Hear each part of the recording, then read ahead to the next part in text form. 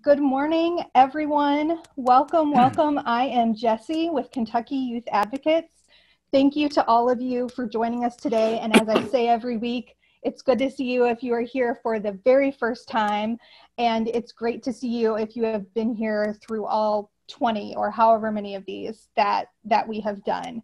Um, I'm really starting to recognize like the family members and some of the like uh-huh. family photos that y'all have behind your heads uh, and uh, really appreciate that. So, uh, just a reminder that we are recording today's forum to share later as both a video and a podcast, and we'll share that with you all so you can share that with your networks if you like.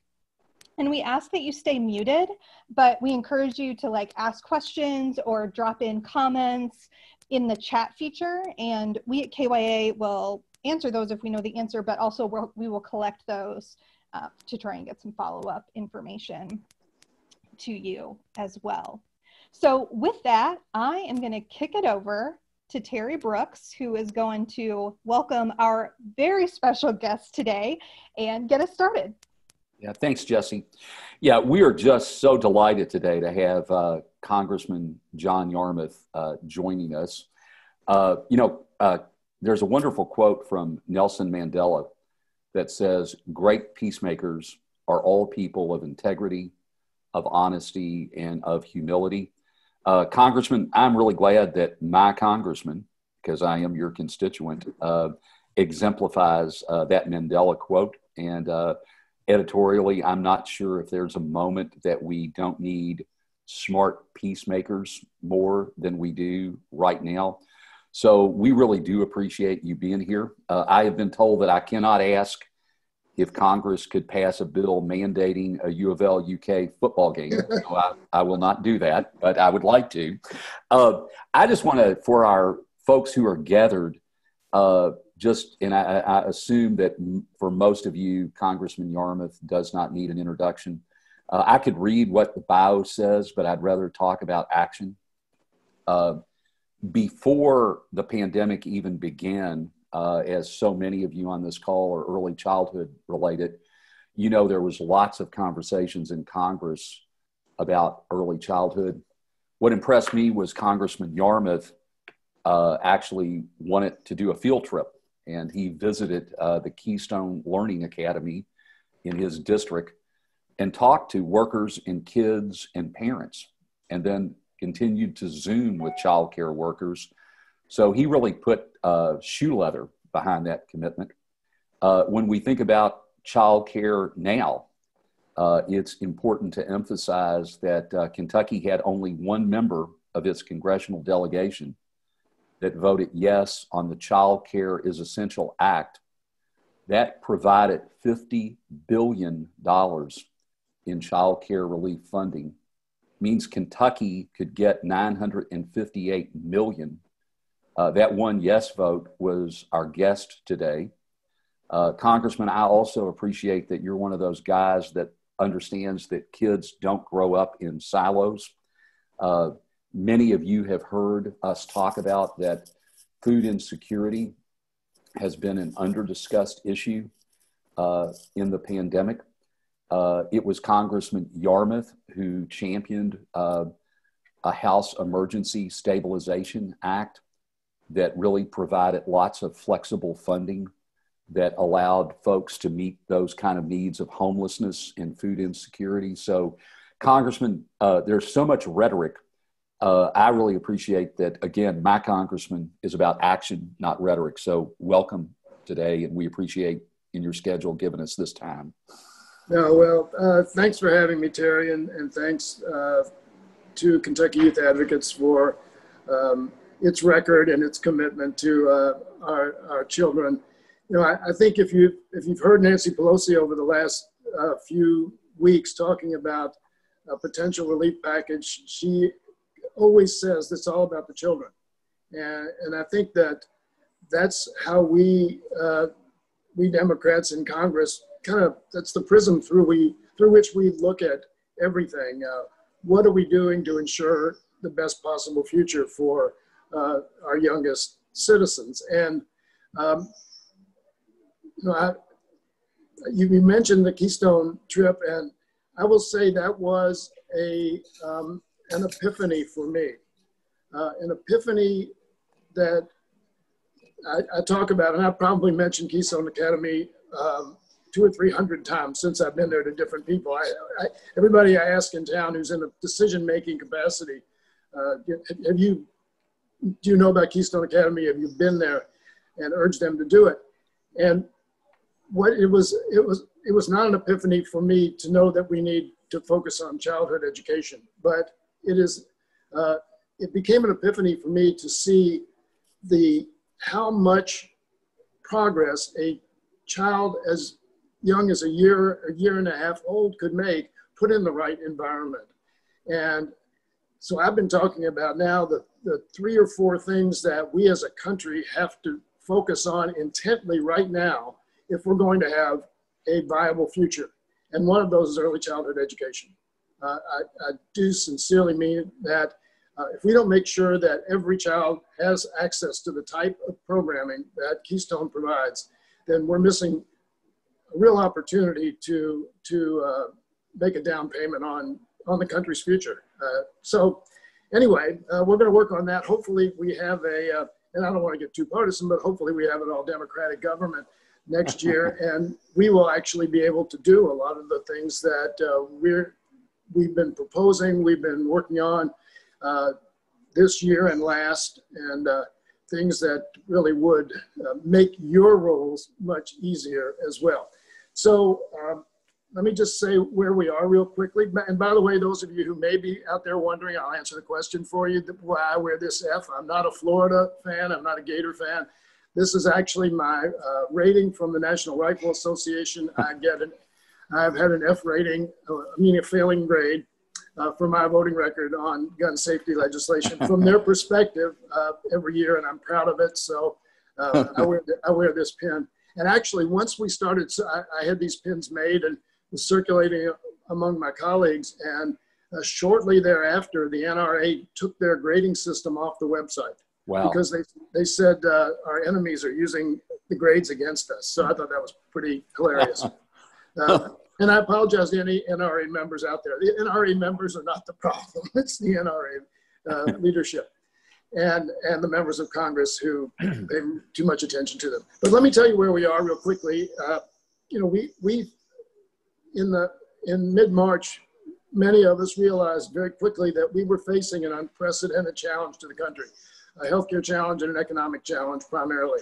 And unlike any other challenge we have faced as, as a country, this came on us very, very quickly. It was widespread and it was very deep. So our, our initial uh, strategy was let's do, do, as much as we can right now. Forget about long-term financial implications or uh, budgetary implications.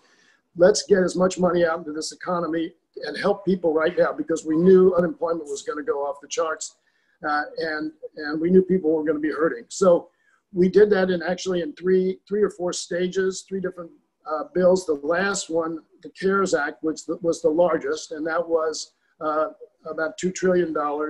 And that provided the $600 a week federal unemployment insurance supplement um, uh, and a lot of other uh, funding to state and local governments and a lot of other things to, um, to help bolster the, the American people and keep the economy afloat. Uh, we realized at the time we did that, we thought, I think everybody kind of assumed that we would, um, this would be a two or three month issue crisis and that we would come up with therapeutics uh, or something that, that would mitigate the, the Im impact and the, the society would essentially return to fairly normal in a short period of time, even though the economic damage would be done. So that's why, for instance, we, when we created what was called the Paycheck Protection Program, which was to fund smaller businesses payroll for eight weeks, that's why we came up with the eight weeks. We thought getting through midsummer it would be done. Well, clearly that uh, is not happening. We knew in May that that was not going to be the case. So we drafted the HEROES Act and passed the HEROES Act. And the HEROES Act is $3.4 trillion. Yes, a lot of money. Um, but among other things, it continued the $600 per week uh, unemployment payments uh, through January of next year. It um, provided almost a trillion dollars in assistance to state and local governments whose budgets have taken a real hit uh, during this crisis. Um, money for education uh, protection for uh, renters and, and mortgagees so that uh, there were no evictions and um, there was rental assistance and, and mortgage payment assistance in that bill as well.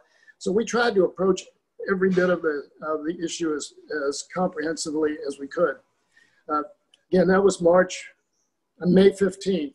At the time, Mitch McConnell uh, said, not so fast, we're gonna wait and see how things go, which at the time was not totally stupid. Uh, I, I, will say there, that was a reasonable thing to think, um, but it was not a reasonable thing for him to stop doing any work and to stop planning for what they might need to do in the Senate. So, yeah, it's fine. Don't pass anything if you think we can. We, we should wait a month or two and see how things go, but prepare. Instead, what he did was sit on his hands and wait until essentially one week before all of the unemployment supplement was going to um, to uh, expire, and then then he started working on a bill. So they came up with a bill at the end of July, which was uh, about uh, a trillion dollars, so a third of what we proposed doing. Um, it, I'm not going to go into everything it did or didn't do because it, it's actually it's not going to be enacted, and they're working now on another proposal, a slim down proposal. But uh, that's where we are. So as of Ju July 31st, all of those $600 a week supplements uh, expired. Um, and the eviction protection, the moratorium expired. Many of the other provisions of the CARES Act um, are no longer in, in, uh, um, in effect. So we're, we're now sitting uh, with retail sales already showing a, a, decline in the last few days because that money's running out. The people, the, the money that people had through the unemployment insurance and other things. We had there was a twelve hundred dollar per person per adult, five hundred dollar per child supplement in the CARES Act as well. Um, we were proposing to do something additionally like that. So we're now waiting. And um, also, as you probably know, there was assistance for the post office in the HEROES Act, uh, which we uh, desperately need to make sure that they can handle the, the uh, expenses of a, an election where so many more ballots will be, uh, will be sent by mail. And um, now we're, debate, we're fighting over that. It's become the, the headline issue, I guess, of, of relief. And we're going back to Washington on Saturday to vote on a new bill uh, to provide resources for the post office. So that's where we are right now. And uh, now it's so, time for me to shut up and respond to you. you all. Yeah. So so uh, take us inside the uh, what's going to happen, uh, regardless of where one sits uh, politically. Uh, I must tell you, Congressman, I, I, sat breathlessly when you said that Leader McConnell was sitting on his, and I was waiting for you to finish that. I'm so happy you said hands. Uh, yeah. But the we've talked on this show before, or that uh, I'm very captivated by a book that Olympia Snowe put out, uh, Fighting for Common Ground. And she talked about when she initially came to the House, there were Republicans more liberal than some conservative Democrats, and there were some Democrats more conservative than some liberal Republicans. And that was the, the basis of so much good work that got done. Uh, no one would suggest that's the case now. So we know that heroes and HEALS have some actually common elements and lots of differences. Uh, the folks on this call are not novices when it comes to policy and politics. So take us behind the scenes. of what's what's going to happen to prevent a train wreck? Uh, you know, what does it mean for House leaders like you and Speaker Pelosi to sit down with folks like Leader McConnell and his team and wind up getting something done. Can you can you kind of project and give us a, a little bit of inside baseball as to what we might be looking at, and then we'll get into content. But I'd I'd like to hear your acumen on process. Um, well, the process is not what we would call regular order. Uh, that's that's a term that is used in the, in uh, the Congress a lot to describe the way things are intended to be done, and the way the tradition and the rules would prescribe. Uh, not it rarely regular order rarely happens now. I could spend an an entire day talking about the dysfunction of Congress and and what's going on there, but I will describe. I get I will summarize the entire dysfunction in one word, and it, it, it encompasses a lot of different dynamics. Nobody gets rewarded for compromising. Hmm. That's the bottom line. Uh, there is, uh, as a matter of fact, you are more likely to be politically penalized uh, for mm-hmm. compromising than you are to be rewarded. And that, that manifests itself in, in financial ways and in electoral ways, primary challenges, uh, media, all sorts of dynamics. But that's the, that's the bottom line. And so that's not an easy thing to fix if there's yeah. if there's nothing in it for you to, to compromise and that and that works on both sides of the aisle that's a dynamic that affects everybody so what has happened is the mentality of congress has really shifted and it's it's shifted know, i was a staffer on capitol hill back in the 70s and it was a very different world and larry uh, terry you talked about it with that with uh, quoting olympia snowe and i can actually quantify that a little bit more for you uh, but uh, there there is no governing mentality in Congress right now. Almost everything is done through an, with an electoral mentality. So whatever the issue is, the question generally becomes where, on this issue, what do I do to gain an electoral advantage? Not what do I do to help solve a problem or fix something or create a new initiative. Um, and that's very sad. But, and again, that afflicts both parties. I, I think it afflicts Republicans more than Democrats. But the other thing we have is um, once the Tea Party, uh, later called the Freedom Caucus, took over the Congress in, in 2010, uh, the idea that the federal government had a role to play in making people's lives better was not something that the majority thought was val- a valid thought. It was government was was uh, there to, to run an armed for, the armed forces, and basically that was it. And the rest of the, the mentality was government needs to get out of the way. So from 2010 to 2018, uh, particularly in the House, the only thing Republicans did, other than get a tax cut, push a tax cut through in 2017, was to pass legislation that deregulated virtually every aspect of society. And they never went anywhere fortunately, because Barack Obama was president for six of those years. And then they weren't able to pass a lot of that in the Senate because of the Senate 60 vote rule. But that's really what Republicans have become. They become a society, cut taxes, deregulate everything you can, um, and that's it. And you know, you've seen efforts through, for instance, through the education department to uh, promote charter schools and private schools and, and, and de-emphasize public education uh, at the federal level. Uh, you've seen efforts to, um, on, on healthcare constantly to repeal and replace the, well, I should say to repeal the Affordable Care Act. There has been no attempt to replace it because, quite honestly, there only is one way to replace the affordable health care, and that's for single payer or Medicare for all. Um, and they don't want to do that. So we, have got one party that, that really is interested in making the government work better and, and work to help people, and we've got one who, which one party that doesn't think that's the government's role. And so that so that's and real quick, I'll, I'll tell you. Yeah, no, go right ahead.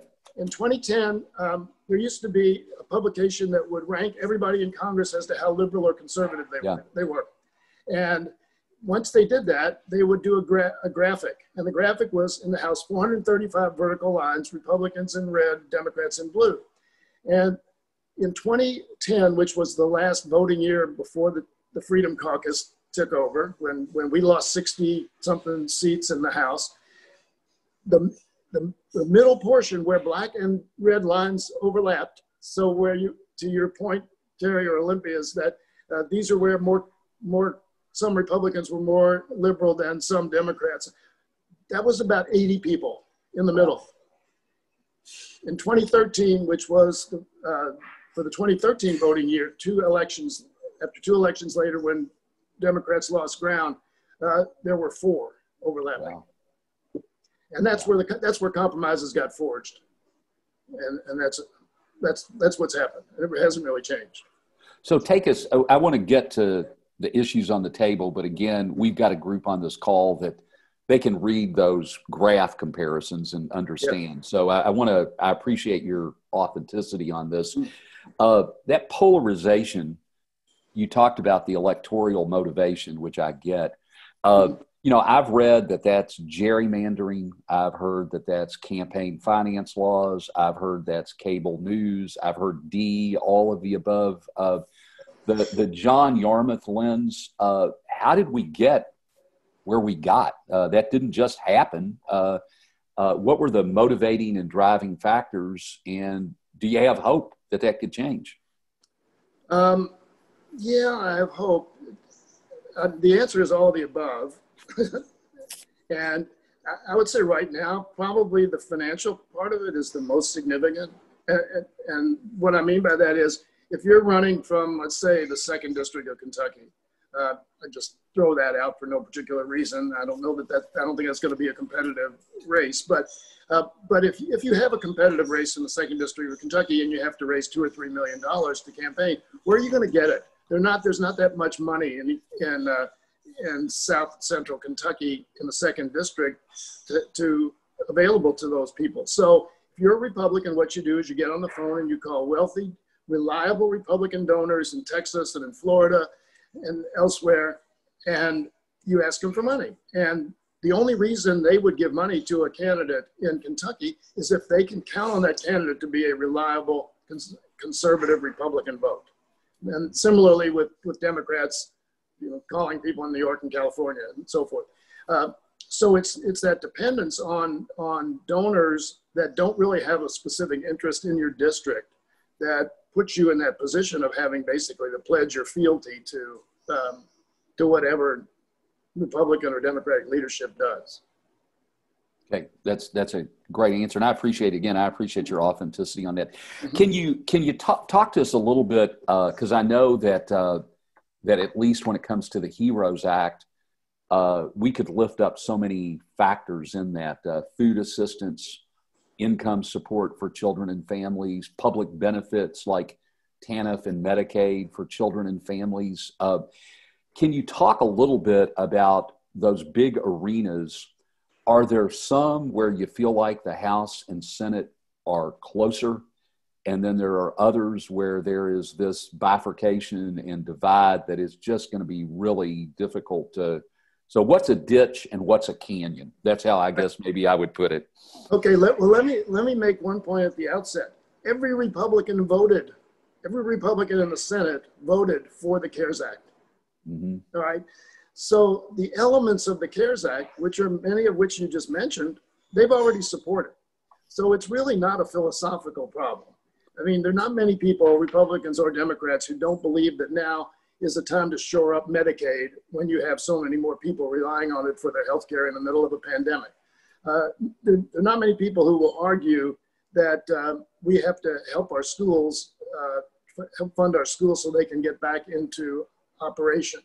Uh, that most people won't argue that state and local budgets have been severely damaged by this crisis. There is a difference of opinion, however, in how to help them. Uh, again, we provided money in the CARES Act for state and local governments. We restricted the way it was used, and so it had to be used for COVID related costs. Uh, Republicans say that, oh, well, a lot of that money hasn't been put to use yet. And that's true, but that doesn't mean that, that money hasn't been committed. And that's, that's the case in Kentucky. A lot of that money that Kentucky got, who cares, has not been spent, but it's been committed for use. Um, and so, and there, there are people on the Republican side who say, well, as Mitch has said, uh, we don't want to we don't want to reward states for bad behavior. Well, nobody behaved badly in regard to the pandemic. Some have, some have acted foolishly uh, in responding to it, but it wasn't anybody's fault. And everybody was hurt, red states and blue states, red cities and, and blue cities. But uh, so that, that's become a real big sticking point. on the education side, uh, there's 107 billion dollars, I think, and there was in the uh, Senate bill, but 70% of that was reserved for schools that only for schools that open in-person education, in-person instruction. So they basically took, again, 70% off the table to try to force schools to open when they may not want to or, or be able to do that safely. So that's, um, but, but most of the things in principle, both sides have already agreed are legitimate uses. And it's, a, it's not helpful when Mitch and many other Republicans come out and say this was a, you know, our, the HEROES Act is a Democratic wish list. Well, first of all, that that's everything in the virtually everything. I mean, there there were a couple things that people tried to shove in there that probably weren't justifiable. But you know, we we knew that the CARES Act was not going to be. I mean, the HEROES Act was not going to be passed as passed by the House because enacted as the House did. It was a bargaining. It was a statement. Here's what we think we ought to do. And but in the Senate bill, there's 600 and something million dollars for the F-35 fighter jet. What does that have to do with COVID relief? so you know, goes both goes both ways. And uh, and then the, the other argument, of course, is it's, it's just too much money. A lot of people say it's too much money. But you have people like Jay Powell, the chairman of the Federal Reserve, who's a Republican appointee, who says we have the we have the fiscal room to do it. Uh, we have the money to do it. Debt is not a problem right now. We need to we need to spend what we need to spend. And you've got a guy named Douglas Holtz-Eakin, who is a deficit hawk, one of the strongest deficit hawks you can imagine, who says the same thing. He said, no, debt doesn't matter right now. Um, we need to spend money. We need to do more. So, um, you know, what's going to solve it? Um, the only thing I can think of right now is that um, the the polls get so bad for Republicans that they say this is this is killing our any chance we have of maintaining the, the majority in the Senate. And you know, th- I think they were beginning to feel that way about the post office, about the postal service. Um, but that's not going to get it done today or tomorrow or next week. And that's that's what really concerns me is while we're basically dysfunctional and not getting anything done, the American people are paying the price. And, and these are innocent American people who, again, did nothing wrong and are, are suffering and are, you know, some are losing their homes uh, and not knowing where they can turn for everyday expenses. So uh, I don't know what, yeah, yeah we, we the, the Senate's trying to, they're putting together another bill. Um, with $300 a week instead of $600 uh, a week and a couple of other provisions. And, you know, if they, my guess is, and I don't know this, but this is the way things usually happen. My guess is there are a lot of talks going on, but they don't involve Nancy, Chuck Schumer, Mitch, um, Steven Mnuchin, and Mark Meadows but the, at, these are at staff level trying to figure out where they, we can actually get something done. So when I look at a lot of chats coming in, we know that, and you've said this very eloquently, we know there are immediate needs on the table. Uh, if, if I were to do the John Yarmuth crystal ball, uh, and you kind of alluded to that already, uh, are we looking at nothing until election day? We're looking at incremental agreements on targeted sectors? Because uh, it doesn't sound like you're very encouraged about a an omnibus compromise. Let's roll this out. Can you can you right. talk a little bit about the uh, yeah. from your lens? What do you think we could gather hope for? Yeah, uh, thanks, Terry. I, I, actually wrote Nancy, uh, I texted Nancy the other day and said, I think we've got to get off this position that we have to have a comprehensive piece of legislation. We need to do what we ha- what we can do right now. And I, I think what I said to her, and I've said it publicly as well, I don't think we're losing the messaging battle on this, but I don't think we're winning it either. And I think the American people are just fed up with, with everybody and the inaction. So I said we need to we need to propose some things that make sense and that, that indicate that we're willing to compromise. So I said, for instance, let's do, let's say we're going to continue the $600 for four or six weeks, and then we're going to cut it down to $400 or $450, just to, to show that we're willing to move on this stuff, but also to show that we, we want to do something right now. The whole idea of, you know, the, the idea of comprehensive proposals, uh, it, it, my experience started with immigration. And people would say there are so many things that we both sides agree on in the immigration battle. Might, why don't we just do that? You know, H-1B visas, getting high-skilled people into the country more easily. And the reason there, which we said no, we're not going to do that because then you do you do the easy stuff and you don't do the hard stuff. You don't deal with the 11 million undocumented uh, actual Americans uh, who are in in the in the country right now. That's not what this is about.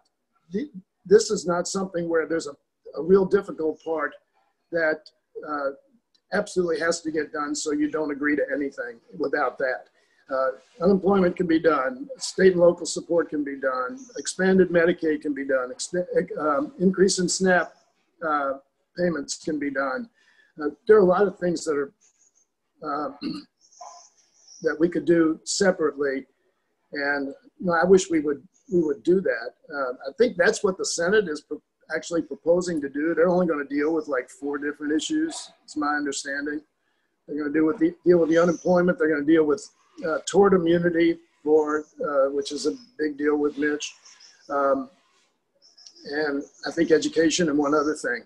Yeah. And you know may, that's probably something like that's probably what's going to happen, and it's probably going to get done in September when we. Uh, when we have to pass a funding bill for next year because the fiscal year ends September 30th. So we have to, we'll pass what's called a continuing resolution, which funds most programs at current levels. Because uh, the Republicans haven't done any of their appropriations bills. We've done 10 out of the 12 we have to do, uh, but they haven't done any. So we'll do a continuing resolution and, and probably put these incremental things, not, I shouldn't say incremental, these individual uh, initiatives in that bill. That's, that's my best.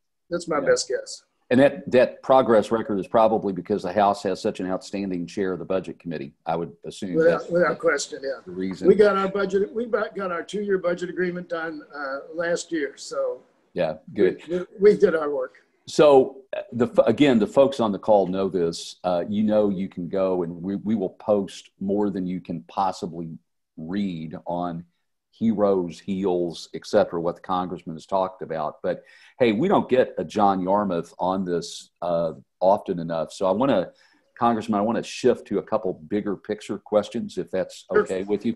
Uh, Absolutely. Yeah. Uh, so I know this. You are not a latecomer to this, uh, and I, again, this is a. Uh, I told you before we began. I wanted to ask you some open-ended questions because mm-hmm.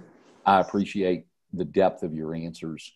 Uh, where in the world and what in the world should we be doing in communities and state and Congress around uh, the whole issue of racial injustice that has just inflamed uh, headlines and have people activated again?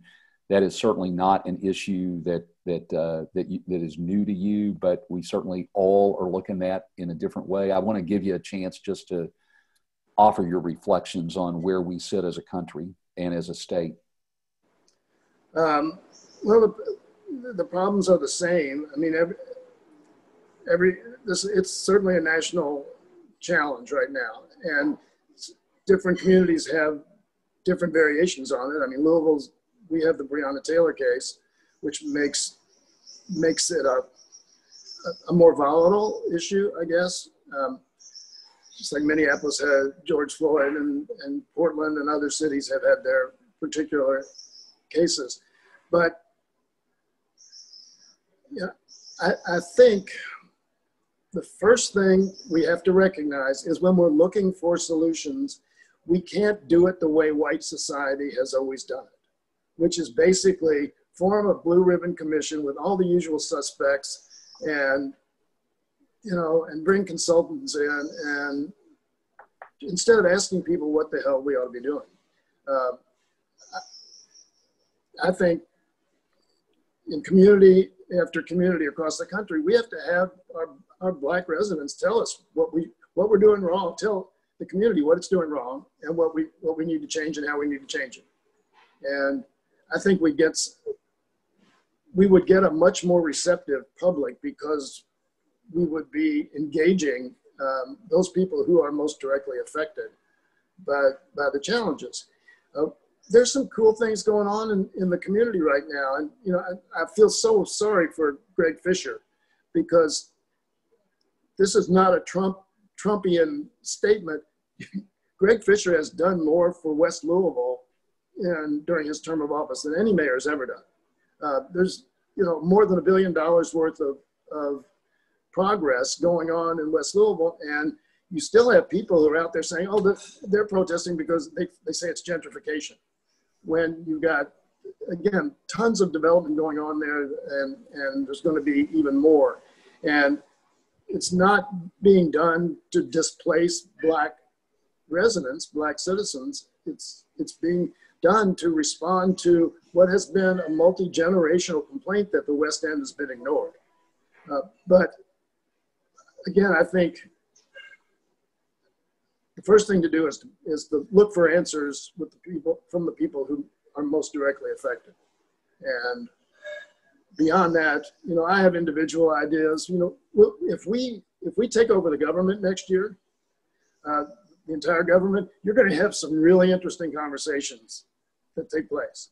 Serious conversations about universal basic income, serious conversations about reparations, um, serious con- conversations about housing and how do we, uh, these are going on in pockets, some, some are going on in Louisville, but how do you, how do you make up for, and so this is part of reparations in, in my mind, how do you make up for the fact that when we ended slavery, we promised every black uh, American 40 acres and a mule, and they never got it.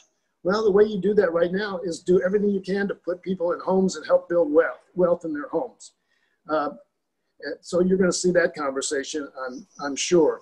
Uh, early childhood education, uh, you know, there was a period, there was a, a day, some recently, I think it was like two months ago, when a, ch a child was born that day who represented the um, a change in the percentage of non-white children born in America.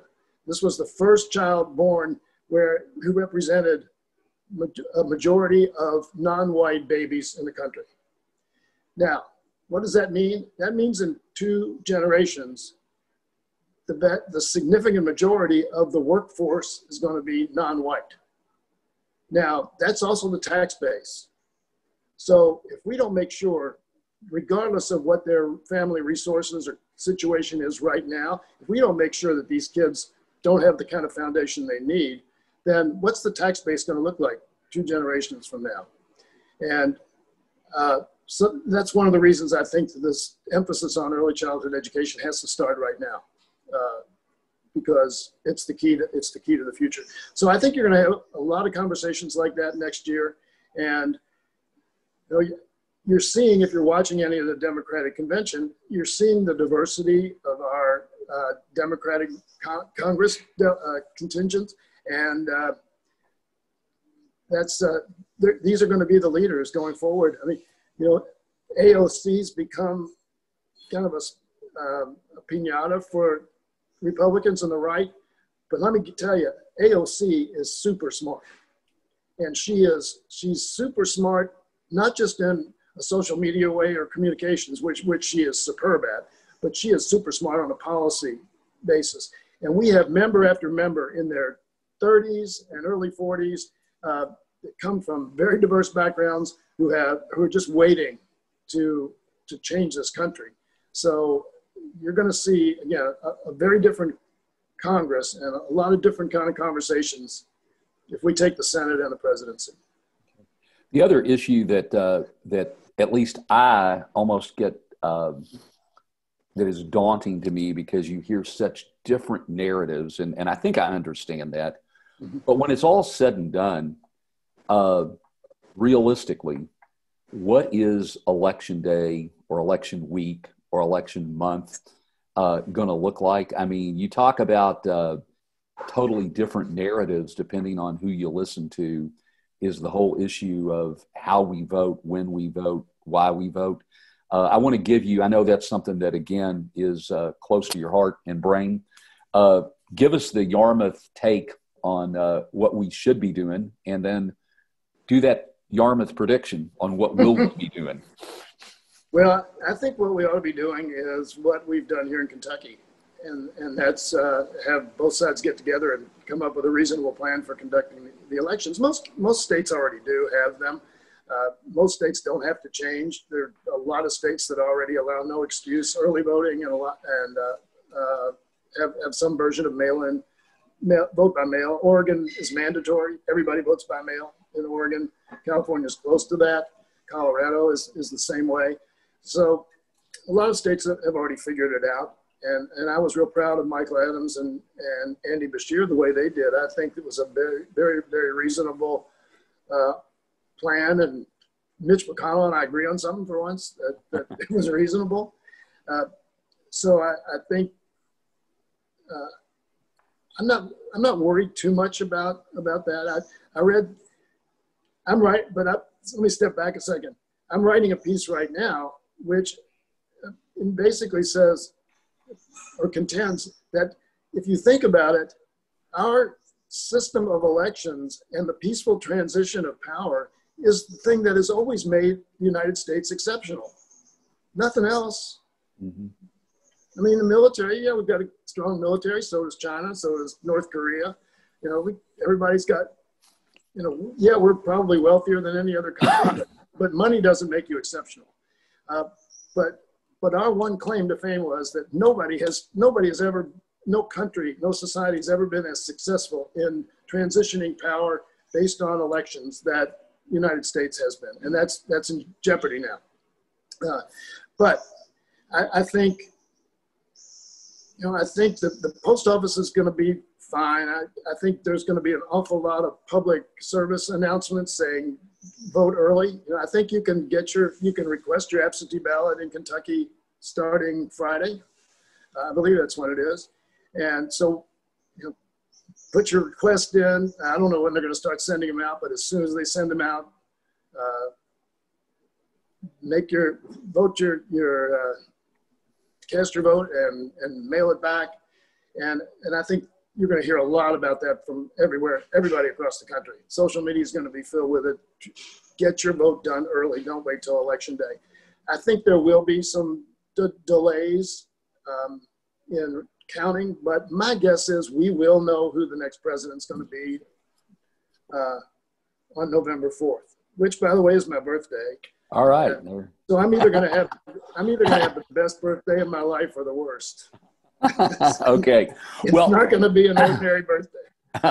Uh, one thing that that I want you to do is, I guess, give folks a little bit of a, a raw raw. And uh, here's my sense: uh, when I look at uh, the the dozens of folks on this call, uh, I see folks who are really comfortable wrestling with issues in Frankfort. Uh, really, very articulate, effective, great connections sometimes I sense uh, this is not the case with you because when folks see you out, you're very accessible, and folks, at least in the third congressional district, I think believe that you're a very uh, approachable kind of guy.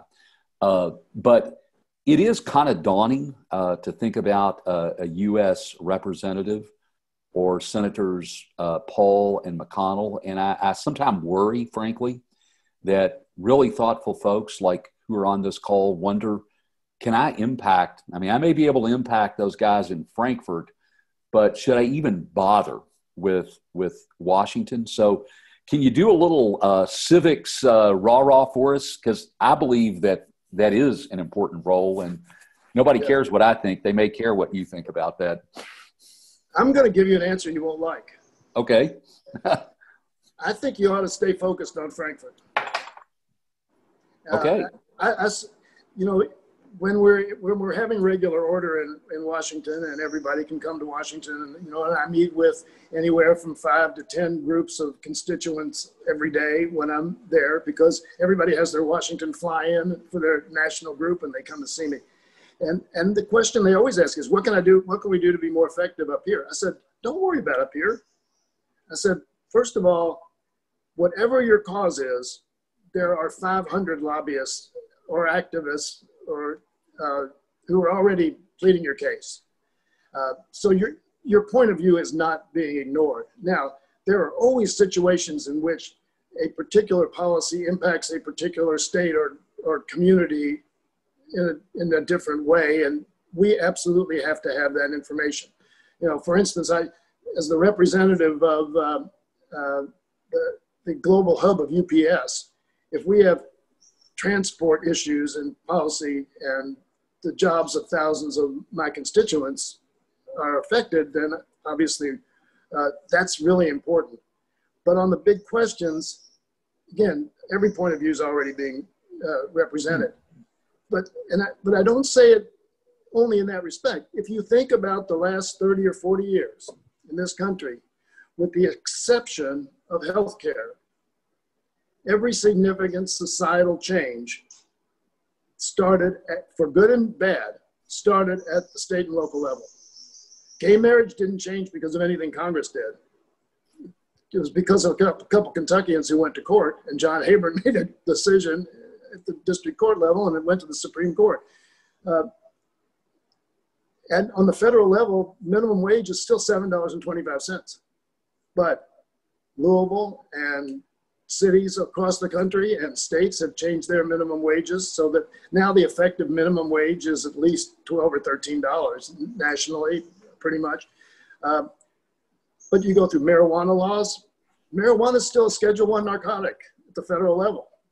Meanwhile about 40% for 40% of the population it's legal to buy and smoke it. So you can you can go down the list you know all the gun laws all the open carries. I said for good and bad. So uh, that's all happening at the state level. We can't pass a simple um, universal background check law. We pass one in the House, we can't pass, get it through the Senate. Uh, so on all of these things, the action is at the state and local level. And that's why I say stay focused because you, you have such a disproportionate impact at the state and local level. That's where most of the action should be. You know, education. My first term, we we worked for um, we worked for two years. We were the majority, and we had a Senate majority. We worked for two years to reform No Child Left Behind. I was on the education committee. We worked like crazy, and you know, we we never got it done. It was six or seven years later when actually was finally reauthorized, and maybe even longer than that.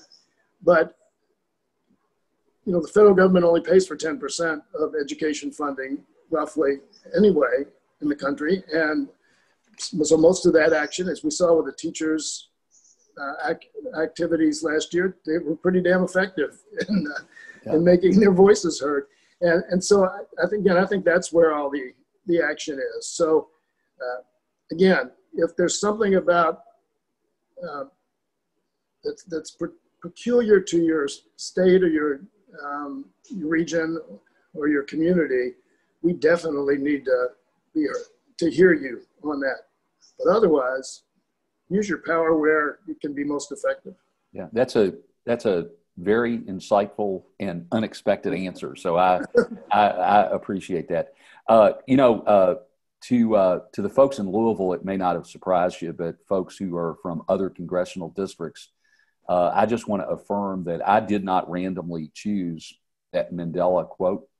Uh, some of you may not have had the chance to hear Congressman Yarmuth uh, as much as you did today, but maybe you understand why I talked about him as a peacemaker of integrity, of honesty, and of humility. Uh, Congressman, I can't thank you enough, uh, knowing the schedule you have, that you took time to do that today. Uh, you are a real voice for kids and families. And uh, I, for one, really appreciate that. Uh, Patricia, I think I'm supposed to say, here's Patricia, and then you and the congressman can wrap it up. All right, All right. Terry. Um, Chairman Yarmuth, I just want to echo Terry's uh, great appreciation to you for joining us here today. Mm-hmm. Um, I was fortunate to be at that Keystone Learning Academy visit um, the other summer, and so it's really um, wonderful to hear what an experience that was for you and how that really resonated. Um, and I want to affirm you in that vision for our kids, um, not just because it's good for them um, to get a quality or start, um, but because it's our future. Um, and I think we all uh, really appreciate that focus of yours um, and we'll, are here to support you. I wanted to lift up, uh, you, you painted a picture of really daunting times. Um, we know it's daunting times for kids, it's daunting for you as a leader, um, and we thank you for um, taking charge and, and putting your fight in. and uh, I think affirming too, you know, uh, KYA and the folks here, this is a nonpartisan forum um, because we firmly believe that kids are the common ground and um, mm-hmm. everyone cares about kids. Um, and that is where we should be focusing our efforts to work together. Um, and so I also really appreciated you um, calling us out to use our power here locally and at the state level. Um, and we will continue to do that. so thanks again for, for joining us. And um, I'm going to end with a, a, a few uh, just reminders for everyone. Uh, we have a COVID action hub on our website where you can um, learn more about the federal policies, um, action alerts, ways that you can contact your federal representatives, um, and a look ahead to next week. Uh, this pandemic has brought with it a lot of trauma for kids and families, um, especially for those who had already experienced or were at risk of experiencing other types of trauma. So next week, we're going to hear from partners about the impact of this trauma and what schools and community organizations can do to create supportive environments that can help kids and their families be more resilient during these uncertain times. So um, you're going to get a follow up from Jesse uh, with the RSVP link for next week's forum, along with a recording of this forum and links to that action hub, which I mentioned, and other resources in a follow up email. Um, so with that, can I say one thing quickly before the end? Sure. Two things real quickly. On the question of, of, of kids and school, I was just thinking about this morning. You know, we ought to be asking the kids how they how they want to learn these uh, in these times. I think it's an opportunity for kids to show some creativity and some uh, again engagement in their own education, and there's an opportunity to to, to uh, teach creativity, to teach flexibility, resilience, all of those those things. And I, I think uh, I don't know if there's a there's, there's, a way to organize that, but I, would like to see that happen. Uh, and the final thing that I, I have to say is, please understand that what you see uh, in terms of the way Congress behaves is not the way it really is. It's not a hostile work. It's not a hostile work environment. We actually mostly all get along really well. I have, I have dear friend, I have dear friends on the Republican side who I've never we've never voted the same way.